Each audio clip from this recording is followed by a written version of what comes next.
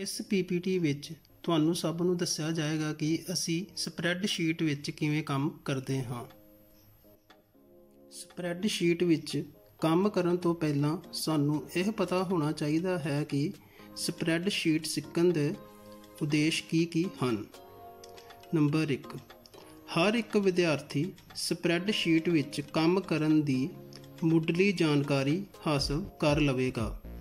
Number 2 ਵਿਦਿਆਰਥੀ spreadsheet ਦੀ ਪਹਿਚਾਨ ਅਤੇ ਸਪਰੈਡਸ਼ੀਟ ਵਿੱਚ ਕੰਮ ਕਰ ਸਕਣਗੇ। ਨੰਬਰ 3 ਵਿਦਿਆਰਥੀ ਡਾਟਾ ਸ਼ੀਟਸ ਬਣਾ ਸਕਣਗੇ ਅਤੇ ਫਾਰਮੂਲਾ ਕਾਪੀ ਪੇਸਟ ਕਰਨ ਤੋਂ ਇਲਾਵਾ ਹੋਰ ਕੰਮ ਵੀ ਸਪਰੈਡਸ਼ੀਟ ਵਿੱਚ ਕਰ ਸਕਣਗੇ। ਨੰਬਰ 4 ਵਿਦਿਆਰਥੀ ਵਰਕਸ਼ੀਟਸ ਲੇਬਲਸ ਸੈੱਲ ਕਾਲਮਸ ਅਤੇ ਰੋਜ਼ ਦੀ ਸਮੀਖਿਆ ਕਰਨ ਯੋਗ ਹੋ ਜਾਣਗੇ। ਸਪਰੈਡਸ਼ੀਟ ਕੀ ਹੈ? ਸਪਰੈਡਸ਼ੀਟ ਵਿੱਚ ਅਸੀਂ ਰੋਜ਼ ਅਤੇ ਕਾਲਮ ਵਿੱਚ ਕੰਮ ਕਰਦੇ ਹਾਂ।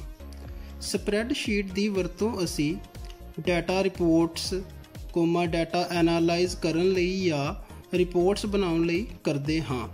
ਇਸ ਨੂੰ ਵਰਕਸ਼ੀਟ ਵੀ ਕਿਹਾ ਜਾਂਦਾ ਹੈ। ਅਸੀਂ ਸਪਰੈਡਸ਼ੀਟ ਬਣਾਉਣ ਲਈ ਕਿਸ ਕੰਪਿਊਟਰ ਪ੍ਰੋਗਰਾਮ ਦਾ ਉਪਯੋਗ ਕਰਦੇ ਹਾਂ। ਸਪਰੈਡਸ਼ੀਟ ਬਣਾਉਣ ਲਈ ਅਸੀਂ ਮਾਈਕਰੋਸਾਫਟ ਐਕਸਲ ਸੌਫਟਵੇਅਰ ਦਾ ਉਪਯੋਗ ਕਰਦੇ ਹਾਂ। ਮਾਈਕਰੋਸਾਫਟ ਐਕਸਲ ਮਾਈਕਰੋਸਾਫਟ ਆਫਿਸ ਦਾ ਇੱਕ ਪਾਰਟ ਹੈ। ਸਪਰੈਡਸ਼ੀਟ ਵਿੱਚ ਅਸੀਂ ਕੀ ਕੀ ਕੰਮ ਕਰ ਸਕਦੇ ਹਾਂ? ਸਪਰੈਡਸ਼ੀਟ ਵਿੱਚ ਅਸੀਂ ਹੇਠਾਂ ਦਿੱਤੇ ਗਏ ਕੰਮ ਕਰ ਸਕਦੇ ਹਾਂ। ਨੰਬਰ 1 ਸਪਰੈਡਸ਼ੀਟ ਵਿੱਚ ਅਸੀਂ ਸਟੂਡੈਂਟਸ ਦਾ ਰਿਜ਼ਲਟ ਮੇਨਟੇਨ ਕਰ ਸਕਦੇ ਹਾਂ। ਨੰਬਰ 2 ਸਪਰੈਡਸ਼ੀਟ ਵਿੱਚ ਅਸੀਂ ਕਿਸੇ ਆਫਿਸ ਦੀ ਇਨਵੈਂਟਰੀ ਜਾਂ ਸਮਾਨ ਦਾ ਹਿਸਾਬ ਕਿਤਾਬ ਰੱਖ ਸਕਦੇ ਹਾਂ। ਨੰਬਰ 3 ਸਪਰੈਡਸ਼ੀਟ ਵਿੱਚ ਅਸੀਂ ਨੰਬਰਾਂ ਨੂੰ ਐਨਾਲਾਈਜ਼ ਕਰ ਸਕਦੇ ਹਾਂ। ਸਪਰੈਡਸ਼ੀਟ ਵਿੱਚ ਅਸੀਂ ਫਾਰਮੂਲੇ ਲਗਾ ਕੇ ਕੈਲਕੂਲੇਸ਼ਨਸ ਵਗੈਰਾ ਕਰ ਸਕਦੇ ਹਾਂ।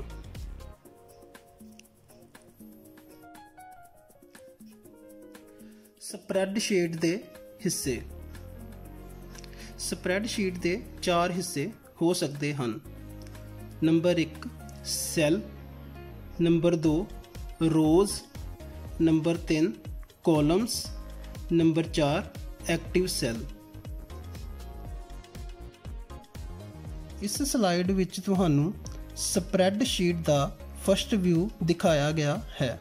ਜਿਵੇਂ ਕਿ ਤੁਸੀਂ ਸਾਫ਼ ਦੇਖ ਸਕਦੇ ਹੋ ਇੱਕ ਵਾਈਟ ਬਾਕਸ ਨਜ਼ਰ ਆ ਰਿਹਾ ਹੈ। ਇਸ ਨੂੰ ਸੈੱਲ ਕਿਹਾ ਜਾਂਦਾ ਹੈ। ਕਿਉਂਕਿ ਇਹ ਸਿਲੈਕਟਡ ਹੈ ਇਸ ਟਾਈਮ ਤਾਂ ਇਸ ਨੂੰ ਆਪਾਂ ਸੈੱਲ ਕਹਿੰਦੇ ਹਾਂ। ਜਦੋਂ ਵੀ ਤੁਸੀਂ ਸਪਰੈਡ ਸ਼ੀਟ ਵਿੱਚ ਇੱਕ ਡੱਬੇ ਨੂੰ ਸਿਲੈਕਟ ਕਰਦੇ ਹੋ ਤਾਂ ਉਸ ਨੂੰ ਸੈੱਲ ਕਿਹਾ ਜਾਂਦਾ ਹੈ। ਇਸ ਤੋਂ ਇਲਾਵਾ ਤੁਸੀਂ ਦੇਖ ਸਕਦੇ ਹੋ, ਇੱਕ ਸਾਈਡ ਤੇ ਤੁਹਾਨੂੰ ਨੂਮੈਰਿਕ ਵੈਲਿਊਜ਼ ਨਜ਼ਰ ਆ ਰਹੀਆਂ ਨੇ ਤੇ ਇੱਕ ਸਾਈਡ ਤੇ ਅਲਫਾਬੈਟਸ ਨਜ਼ਰ ਆ ਰਹੇ ਨੇ। ਜਿਵੇਂ ਕਿ ਤੁਸੀਂ ਦੇਖ ਸਕਦੇ ਹੋ 1 2 3 ਨੂਮੈਰਿਕ ਵੈਲਿਊਜ਼ ਨੇ, A, B, C ਅਲਫਾਬੈਟਸ ਨੇ। ਇਹ ਦੋਨੋਂ ਚੀਜ਼ਾਂ ਸਪਰੈਡ ਸ਼ੀਟ ਵਿੱਚ ਅਲੱਗ-ਅਲੱਗ ਚੀਜ਼ਾਂ ਨੂੰ ਦਰਸਾਉਂਦੀਆਂ ਹਨ। 1 2 3 ਰੋਜ਼ ਨੂੰ ਦਰਸਾਉਂਦੇ ਹਨ ਅਤੇ A, B, C, D columns ਨੂੰ ਦਰਸਾਉਂਦੇ ਹਨ।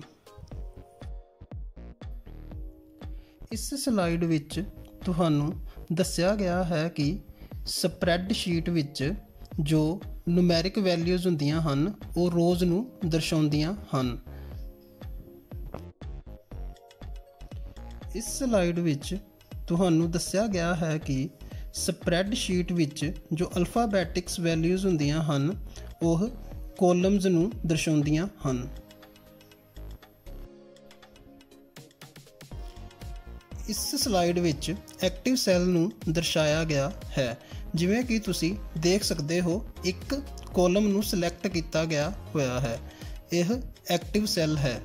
ਇਹ ਐਕਟਿਵ ਸੈੱਲ ਇਸ ਕਰਕੇ ਹੈ ਕਿਉਂਕਿ ਇਸ ਨੂੰ ਸਿਲੈਕਟ ਕਰਕੇ ਆਪਾਂ ਇਸ ਵਿੱਚ ਕੋਈ ਵੀ ਕੰਮ ਕਰ ਸਕਦੇ ਹਾਂ। ਅਸੀਂ ਇਹਦੇ ਵਿੱਚ ਕੋਈ ਵੀ ਵੈਲਿਊ ਪੁੱਟ ਕਰ ਸਕਦੇ ਹਾਂ ਉਹ ਚਾਹੇ ਨੂਮੈਰਿਕ ਹੋਵੇ ਚਾਹੇ ਅਲਫਾਬੈਟਿਕ ਹੋਵੇ ਇਸ ਸਲਾਈਡ ਵਿੱਚ ਅਸੀਂ ਸਮਝਾਂਗੇ ਕਿ ਸਪਰੈਡ ਸ਼ੀਟ ਵਿੱਚ ਅਸੀਂ ਕੀ ਕੀ ਕੰਮ ਕਰ ਸਕਦੇ ਹਾਂ? Number 1 label. Number 2 value. Number 3 formula. Number 4 function. ਇਸ ਸਲਾਈਡ ਵਿੱਚ ਤੁਹਾਨੂੰ ਲੇਬਲ ਬਾਰੇ ਦੱਸਿਆ ਗਿਆ ਹੈ ਕਿ ਅਸੀਂ ਲੇਬਲ ਨੂੰ ਕਿਵੇਂ ਇਸਤੇਮਾਲ ਕਰਦੇ ਹਾਂ। ਫੋਰ ਐਗਜ਼ਾਮਪਲ ਤੁਸੀਂ ਸ਼ੀਟ ਵਿੱਚ ਦੇਖ ਸਕਦੇ ਹੋ। ਪਹਿਲੀ ਸਲਾਈਡ ਵਿੱਚ ਚਾਰ ਕਾਲਮਸ ਨੂੰ ਲੈ ਕੇ ਇੱਕ ਰੋ ਬਣਾਈ ਗਈ ਹੈ ਜਿਸ ਨੂੰ ਅਸੀਂ ਮਲਟੀਪਲ ਸੈੱਲ ਲੇਬਲ ਦਾ ਨਾਮ ਦਿੱਤਾ ਹੈ। ਤੇ ਫੋਰਥ ਰੋ ਵਿੱਚ ਤੁਸੀਂ ਦੇਖੋਗੇ ਨੇਮ ਏਜ ਐਂਡ ਜੈਂਡਰ ਦਾ ਕਾਲਮ ਬਣਾਇਆ ਗਿਆ ਹੈ। ਇਹਨੂੰ ਅਸੀਂ ਸਿੰਗਲ ਸੈੱਲ ਲੇਬਲ ਕਹਾਂਗੇ। ਇਸ ਸਲਾਈਡ ਵਿੱਚ ਵੈਲਿਊ ਨੂੰ ਐਕਸਪਲੇਨ ਕੀਤਾ ਗਿਆ ਹੈ। ਵੈਲਿਊ ਅਲਫਾ ਨੂਮੈਰਿਕ ਡਿਟੇਲ ਹੋ ਸਕਦੀ ਹੈ ਜਿਸ ਨੂੰ ਅਸੀਂ ਸਿੰਗਲ ਜਾਂ ਮਲਟੀਪਲ ਸੈੱਲ ਵਿੱਚ ਅਪਡੇਟ ਕਰਦੇ ਹਾਂ। ਸਿੰਪਲ ਸ਼ਬਦਾਂ ਵਿੱਚ ਅਸੀਂ ਕਹਿ ਸਕਦੇ ਹਾਂ ਕਿ ਇਸ ਦੇ ਜ਼ਰੀਏ ਅਸੀਂ ਸਪਰੈਡ ਸ਼ੀਟ ਵਿੱਚ ਕਿਸੇ ਚੀਜ਼ ਬਾਰੇ ਡਿਟੇਲਸ ਨੂੰ ਅਪਡੇਟ ਕਰਦੇ ਹਾਂ। ਜਿਵੇਂ ਸਾਨੂੰ ਕਿਸੇ ਕਲਾਸ ਦੀ ਇਨਫੋਰਮੇਸ਼ਨ ਚਾਹੀਦੀ ਹੋਏਗੀ ਤਾਂ ਅਸੀਂ ਕਲਾਸ ਦੇ ਬੱਚਿਆਂ ਦੇ ਨਾਮ, ਏਜ ਜੈਂਡਰ ਫਾਦਰ ਨੇਮ ਔਰ ਉਹਨਾਂ ਦਾ ਐਡਰੈਸ ਬਣਾ ਕੇ ਇੱਕ ਸ਼ੀਟ ਬਣਾਵਾਂਗੇ। ਔਰ ਜਿਹੜੀ ਵੀ ਇਹਨਾਂ ਵਿੱਚ ਡਿਟੇਲ ਦਿੱਤੀ ਗਈ ਹੋਏਗੀ, ਉਹਨਾਂ ਨੂੰ ਸੈੱਲ ਦੀ ਵੈਲਿਊਜ਼ ਕਿਹਾ ਜਾਏਗਾ। ਫੰਕਸ਼ਨਸ ਐਂਡ ਫਾਰਮੂਲਾਜ਼ ਇਸ ਸਲਾਈਡ ਵਿੱਚ ਤੁਹਾਨੂੰ ਫੰਕਸ਼ਨਸ ਐਂਡ ਫਾਰਮੂਲਾਜ਼ ਬਾਰੇ ਦੱਸਿਆ ਜਾਏਗਾ। ਫਾਰਮੂਲਾ ਫਾਰਮੂਲਾ ਉਸ ਨੂੰ ਕਿਹਾ ਜਾਂਦਾ ਹੈ ਜਿਸ ਦੇ ਜ਼ਰੀਏ ਅਸੀਂ ਕੈਲਕੂਲੇਸ਼ਨਸ ਕਰਦੇ ਹਾਂ। Number 2 functions functions is a built in formula ਜਿਹਨੂੰ ਅਸੀਂ ਕੈਲਕੂਲੇਸ਼ਨ ਦੇ ਲਈ ਯੂਜ਼ ਕਰਦੇ ਹਾਂ। ਇਹ ਇੱਕ ਤਰ੍ਹਾਂ ਦਾ ਸ਼ਾਰਟਕਟ ਹੁੰਦਾ ਹੈ, ਜਿਸ ਦੇ ਜ਼ਰੀਏ ਅਸੀਂ ਕੈਲਕੂਲੇਸ਼ਨਸ ਕਰ ਸਕਦੇ ਹਾਂ। ਇਸ ਸਲਾਈਡ ਵਿੱਚ ਤੁਹਾਨੂੰ ਦੱਸਿਆ ਗਿਆ ਹੈ ਕਿ ਫੰਕਸ਼ਨਸ ਔਰ ਫਾਰਮੂਲਾ ਨੂੰ ਕਿਵੇਂ ਇਸਤੇਮਾਲ ਕਰਨਾ ਹੈ। ਇਸ ਸਲਾਈਡ ਵਿੱਚ ਐਡੀਸ਼ਨ ਫਾਰਮੂਲੇ ਨੂੰ ਯੂਜ਼ ਕਰਕੇ ਦੱਸਿਆ ਗਿਆ ਹੈ। ਨੰਬਰ 1 ਕੋਈ ਵੀ ਫਾਰਮੂਲਾ ਲਗਾਉਣ ਤੋਂ ਪਹਿਲੇ ਧਿਆਨ ਰੱਖਣਾ ਹੈ ਕਿ ਜਿਹੜਾ ਫਾਰਮੂਲਾ ਆਪਾਂ ਯੂਜ਼ ਕਰਨਾ ਹੈ, ਉਹ ਹਮੇਸ਼ਾ ਇਕੁਅਲ ਦੇ ਸਿੰਬਲ ਦੇ ਨਾਲ ਸ਼ੁਰੂ ਹੋਏਗਾ। ਜਿਵੇਂ ਕਿ ਤੁਸੀਂ ਸਲਾਈਡ ਵਿੱਚ ਦੇਖ ਸਕਦੇ ਹੋ ਆਨਸਰ ਵਿੱਚ ਉਹਨਾਂ ਨੇ ਪਹਿਲੇ ਇਕੁਅਲ ਦਾ ਸਿੰਬਲ ਯੂਜ਼ ਕੀਤਾ ਹੋਇਆ ਹੈ। ਨੰਬਰ 2 ਜਿਸ ਵੀ ਕਾਲਮ ਵਿੱਚ ਤੁਹਾਨੂੰ ਆਨਸਰ ਚਾਹੀਦਾ ਹੈ, ਉਸ ਸੈੱਲ ਵਿੱਚ ਹੀ ਤੁਸੀਂ ਫਾਰਮੂਲੇ ਨੂੰ ਲਗਾਉਣਾ ਹੈ। ਨੰਬਰ 3 ਸਭ ਤੋਂ ਪਹਿਲੇ ਤੁਸੀਂ ਉਸ ਸਿਲੈਕਟ ਉਸ ਸੈੱਲ ਨੂੰ ਸਿਲੈਕਟ ਕਰੋਗੇ, ਜਿਸ ਵਿੱਚ ਤੁਸੀਂ ਆਨਸਰ ਚਾਹੁੰਦੇ ਹੋ। ਫੋਰ ਐਗਜ਼ਾਮਪਲ ਜਿਵੇਂ ਕਿ ਸਲਾਈਡ ਵਿੱਚ ਦੱਸਿਆ ਗਿਆ ਹੈ B4 is the targeted cell to get answer ਮਤਲਬ ਕਿ ਉਹਨਾਂ ਨੇ ਚੌਥੇ ਨੰਬਰ ਦੇ ਸੈੱਲ ਨੂੰ ਆਨਸਰ ਲੈਣ ਦੇ ਲਈ ਸਿਲੈਕਟ ਕੀਤਾ ਹੋਇਆ ਹੈ। ਅਗਰ ਤੁਸੀਂ ਚੌਥੇ ਨੰਬਰ ਦੇ ਕਾਲਮ ਵਿੱਚ ਆਨਸਰ ਚਾਹੁੰਦੇ ਹੋ ਤਾਂ ਤੁਸੀਂ ਉਸ ਸੈੱਲ ਵਿੱਚ ਫਾਰਮੂਲਾ ਲਗਾਉਣਾ ਹੈ। ਇੰਜ ਨਹੀਂ ਹੈ ਕਿ ਮੈਂ ਤੁਹਾਨੂੰ ਕਹਿ ਰਿਹਾ ਹਾਂ ਕਿ ਤੁਸੀਂ ਚੌਥੇ ਨੰਬਰ ਵਿੱਚ ਸੈੱਲ ਚੌਥੇ ਸੈੱਲ ਵਿੱਚ ਤੁਸੀਂ ਫਾਰਮੂਲਾ ਲਗਾਉਣਾ ਹੈ। ਅਗਰ ਤੁਸੀਂ ਚਾਹੋ ਤਾਂ ਤੁਸੀਂ 5ਵੇਂ 6ਵੇਂ 7ਵੇਂ 8ਵੇਂ 10ਵੇਂ ਜਾਂ ਕਿਸੇ ਵੀ ਸੈੱਲ ਵਿੱਚ ਫਾਰਮੂਲਾ ਲਗਾ ਕੇ ਆਪਣਾ ਆਨਸਰ ਲੈ ਸਕਦੇ ਹੋ। ਆਨਸਰ ਉਹੀ ਆਏਗਾ ਜਿਹੜੀ ਵੈਲਿਊਜ਼ ਤੁਸੀਂ ਸਿਲੈਕਟ ਕੀਤੀਆਂ ਹੋਣਗੀਆਂ। ਹੁਣ ਅਸੀਂ ਉਹ ਸੈੱਲ ਸਿਲੈਕਟ ਕਰਨਾ ਹੈ ਜਿਸ ਵਿੱਚ ਸਾਨੂੰ ਆਨਸਰ ਚਾਹੀਦਾ ਹੈ। ਨੰਬਰ 4 ਜਿਵੇਂ ਕਿ ਹੁਣ ਤੁਸੀਂ ਦੇਖ ਸਕਦੇ ਹੋ, ਅਸੀਂ B2 ਅਤੇ B3 ਸੈੱਲ ਦਾ ਆਨਸਰ ਚਾਹੁੰਦੇ ਹਾਂ। ਮਤਲਬ ਕਿ ਅਸੀਂ B2 ਅਤੇ B3 ਨੂੰ ਐਡ ਕਰਨਾ ਚਾਹੁੰਦੇ ਹਾਂ। ਇਸ ਕਰਕੇ ਅਸੀਂ ਫਾਰਮੂਲਾ ਲਗਾਉਣ ਜਾ ਰਹੇ ਹਾਂ।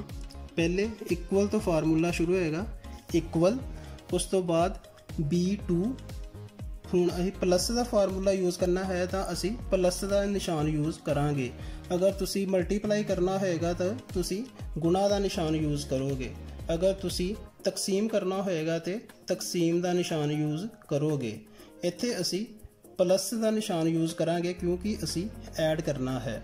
B2 B3 ਹੁਣ ਅਸੀਂ ਫਾਰਮੂਲਾ ਟਾਈਪ ਕਰ ਦਿੱਤਾ ਹੈ ਇਕੁਅਲ B2 B3 ਹੁਣ ਤੁਸੀਂ ਐਂਟਰ ਕਰੋਗੇ ਤਾਂ ਉਸ ਕਾਲਮ ਵਿੱਚ ਤੁਹਾਡਾ ਆਨਸਰ ਨਜ਼ਰ ਆ ਜਾਏਗਾ। ਹੁਣ ਅਸੀਂ ਐਂਟਰ ਕਰਦੇ ਹਾਂ ਤਾਂ ਸਾਡੇ ਸਾਹਮਣੇ 30 ਆਨਸਰ ਆ ਗਿਆ ਹੈ। ਇਸ ਸਲਾਈਡ ਵਿੱਚ ਤੁਹਾਨੂੰ ਦੱਸਿਆ ਗਿਆ ਹੈ ਕਿ ਸਬਸਟ੍ਰੈਕਸ਼ਨ ਦਾ ਫਾਰਮੂਲਾ ਕਿਵੇਂ ਯੂਜ਼ ਕਰਨਾ ਹੈ। ਸਬਸਟ੍ਰੈਕਸ਼ਨ ਨੂੰ ਪੰਜਾਬੀ ਵਿੱਚ ਮਾਈਨਸ ਜਾਂ ਘਟਾਓ ਕਿਹਾ ਜਾਂਦਾ ਹੈ। ਮਤਲਬ ਕਿ ਮਾਈਨਸ ਕਰਨਾ, ਜਿਵੇਂ ਕਿ ਕਿਸੇ ਵੈਲਿਊ ਵਿੱਚੋਂ ਕਿਸੇ ਵੈਲਿਊ ਨੂੰ ਮਾਈਨਸ ਕਰਨਾ ਜਾਂ ਘਟਾਉਣਾ। ਇਹਦੇ ਵਿੱਚ ਵੀ ਸੇਮ ਦੱਸਿਆ ਗਿਆ ਹੈ ਕਿ ਪਹਿਲੇ ਅਸੀਂ ਇਕੁਅਲ ਯੂਜ਼ ਕਰਨਾ ਹੈ।